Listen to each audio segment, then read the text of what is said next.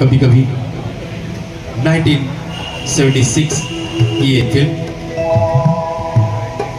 लाल Yemen पर आधारित। इस गीत को संगीतकार साहिर लुधियानवी की ये उत्कृष्ट कृति माना जाता है।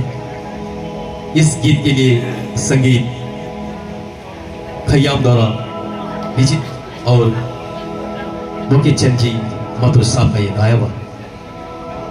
ये गीत कश्मीर की वादियों में फिल्माया गया है। आइए तो चलते हैं कभी कभी से लेकर।